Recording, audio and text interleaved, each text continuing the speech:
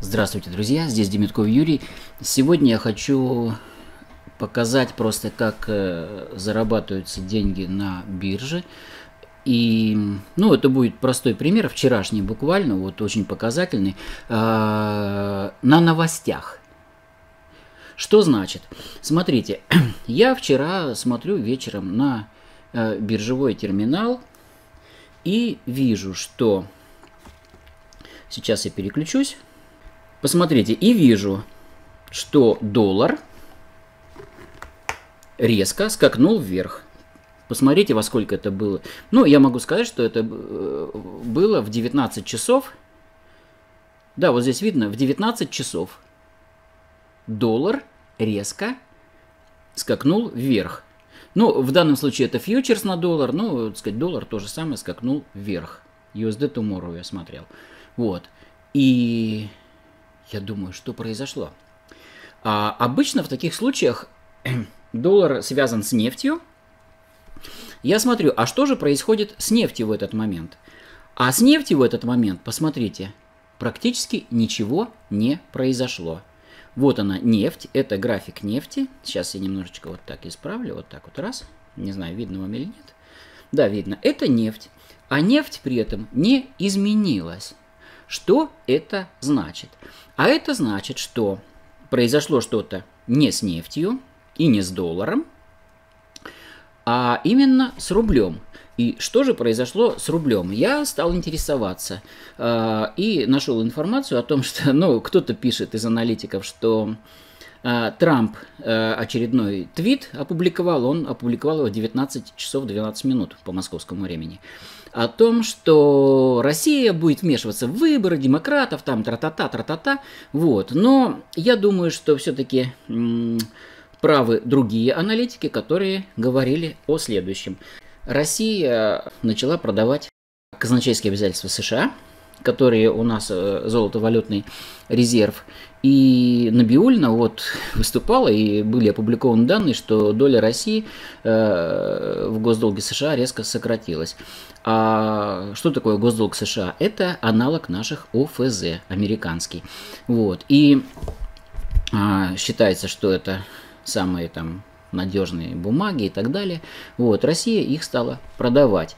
Но я думаю, что Америке это не очень понравилось, и э, Конгресс вчера же э, стали, так сказать, там, ну, они постоянно бушуют, что, а давайте-ка мы запретим э, американским гражданам или там резидентам Америки э, покупать внешний долг России, то есть покупать российские ОФЗ. А в, россий, в российских ОФЗ известно, что 30% российскими ОФЗ российских ОФЗ выкуплены иностранцами, ну, по большей части американцами. Поэтому я думаю, что вот в ответку американцы все-таки планируют такие э, запретить. Ну, кто-то говорит, что не запретят, кто-то говорит запретят. Вот. То есть есть такие какие-то слухи определенные. И вот это вызвало, судя по всему, э, соответственно, рост доллара – и что значит рост доллара? Рост доллара по отношению к рублю – это падение рубля. Есть так называемый индекс РТС. РТС – это индекс московской биржи, выраженный в долларах. А, и давайте посмотрим, что произошло с этим индексом. В это же время, в этот же момент, вот он этот момент, индекс РТС резко упал. Почему? Потому что доллар вырос. Это акции российские, выраженные в долларах. Доллар растет, значит стоимость акций в долларах падает. Акции в рублях не изменились никак. Это произошло в 19 часов, потому что и фондовый рынок уже был закрыт, э, был открыт только срочный рынок, поэтому я показываю вам на срочном рынке. Срочный рынок работает и после 19 до 23. Вот, и ну, я смотрю обвал полностью на индексе РТС, и, э, значит, он обваливался, обваливался, и в определенный момент он перестал обваливаться. Я стал смотреть новости, ну, говорят, э, должно увеличиться, э, с одной стороны. С другой стороны, ничего страшного не произошло, и примут, не примут, кто его знает. Бабушка надвое сказала, поэтому вот здесь, вот, вчера вечером я решил приобрести, ну, небольшой пакет, там 5 индексов РТС. То есть вот вы видите, вот здесь вот белая, эм, вот здесь вот, вот, вот она, белая стрелочка. Я приобрел 5 индексов РТС на новостях. И тут же поставил, естественно, take profit и stop limit, чтобы ограничить убыток. И убыток у меня был ограничен где-то, ну вот здесь вот я ограничил свои убытки и э, пошел спать. Собственно говоря, индекс э, практически не изменился за ночь. И э, я стал смотреть, что произошло с нефтью. А, а, а с нефтью произошло на утро. То есть я смотрю, как ведет себя ну, разные биржевые продукты, в том числе, вот, в частности, нефть. А нефть вчера вечером начала расти, продолжила расти, вот она, нефть. И э, так как нефть растет в долларах, то, соответственно, в Россию доллары поступят. Но должен хотя бы немножечко индекс РТС все-таки повыситься, потому что а, приток долларов будет увеличиваться. Поэтому я принял такое решение купить вот там небольшой пакет, там 5 пакетов РТС. 5 фьючерсов РТС. Что произошло дальше? А дальше произошло следующий, следующее утро, на утро, ожидаемо совершенно, индекс РТС начал расти. Вот, давайте я сейчас э, изменю э, масштаб графика. Вот, сейчас видно. Вот здесь вот на открытии биржи, естественно, индекс начал расти резко. И э, здесь я его докупил, ну, как говорится, на всю котлету. Вот. потому что, ну, он должен продолжить расти. Естественно, я поставил take profit и stop лимит, он уже был, ну, где-то вот здесь, а, чтобы был э, ограничить убытки, потому что он как растет, так может и упасть. И э, take profit я поставил, ну, где-то вот там, где он сейчас. Вот. Что произошло дальше? Ну, дальше ожидаемо индекс продолжил расти. Так что в самом худшем случае а, у меня будет прибыль. Пусть небольшая, но прибыль. Вот. И дальше будем смотреть, что а, происходит с индексом. А с индексом происходило следующее.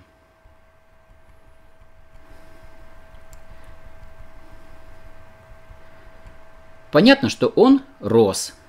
Вот он рос, потом падал, но у меня ограничение вот здесь вот убыток стояло, и, соответственно, ничего страшного. Я, а, а я просто уехал на работу и все, так сказать, по своим делам заниматься. Вот, он, естественно, значит, коррекция была, потом дальше продолжил расти. Вот, я спокойно э, просто посмотрел на телефон и все.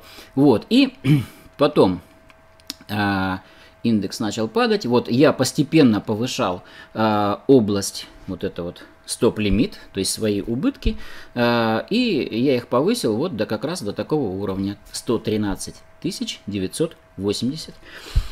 113 980. Вот. И, э, ну, вчера я купил всего 5 фьючерсов, сегодня еще 11. Вот, фьючерсов, вот, вы видите сделочку. Вот, 11 э, фьючерсов еще. И э, здесь я закрыл все, все 16 фьючерсов по стопу. А, ну, сейчас я попытаюсь показать вам а, общую доходность. Ну, вот вы сейчас видите, что прибыль дня 19 461 рубль 45 копеек. Сделка полностью закрыта за один день, за полдня, я бы сказал, 19 а, 461 рубль 45 копеек. А, сколько денег у меня там на счете? Ну, в районе 260 тысяч на счете всего лежит. Вот. Сумма достаточно скромная, но, посмотрите, 19 а, тысяч прибыль за один день. Что это такое, сейчас скажу. 19 452. 2 рубля делим на э, ну, 250 тысяч там было с утра. 7,7%, 7,8% фактически э, за полдня доходность. Вот э, такие доходы можно получать на бирже.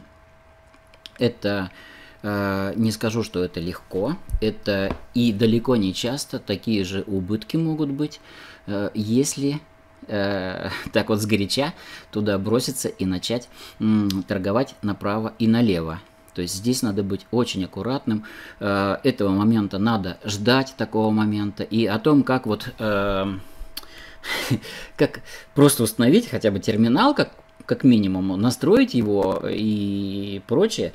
Ну, за этим надо следить, и как за этим следить, я об этом рассказываю как раз на вот своих курсах, вот, э, потому что, ну, согласитесь, это надо делать, посмотрите, как это здорово, просто вот за полдня э, можно заработать большие деньги. Как установить терминал – как открыть брокерский счет, как перевести туда деньги без комиссии, как вывести деньги и как всем этим заниматься. Я об этом рассказываю, как раз помогаю. Если вы хотите, то вы можете перейти прямо сейчас. Значит, там э, снизу будет ссылочка demitkovyur.com. Да и прямо сейчас вы видите э, ссылочку вот э, в окошечке. Ну, я думаю, что там. Вот. я думаю, что вот, э, вот в этом уголочке будет. Э, и э, вы сможете просто нажав на нее, посмотреть, там видеокурс есть у меня в записи есть, и в сентябре я буду проводить э, такой же курс очный, где-то я так ориентировочно думаю, с 15 сентября. Вот. Э, курс в записи стоит 2000 рублей, э, сентябрьский будет стоить 5000 рублей, но если кто-то захочет оплатить в июле, осталось там совсем немного, то это будет стоить 2500 рублей, если в августе, то 3500 рублей будет стоить э, вот курс очный э, со мной, как очный, в онлайне. То есть я буду рассказывать об этом а, через интернет, прямо вот на живом мониторе показывать, как все это происходит, как ставить заявочки, тейк-профиты, стоп-лимиты, что это такое. Вы во всем во всем будете разбираться, что такое фьючерс, облигации, ОФЗ, как покупать, там, доходности и так далее, какие комиссии берутся. И ну, этим надо заниматься, друзья мои. Вот, поэтому я всех вас призываю начать наконец-то инвестировать и ну, зарабатывать. Инвестировать, зарабатывать и накапливать деньги. Поверьте мне, это очень здорово. И просто это пассивный доход. Спасибо. А, с вами был Демитков Юрий. Надеюсь, до скорой встречи.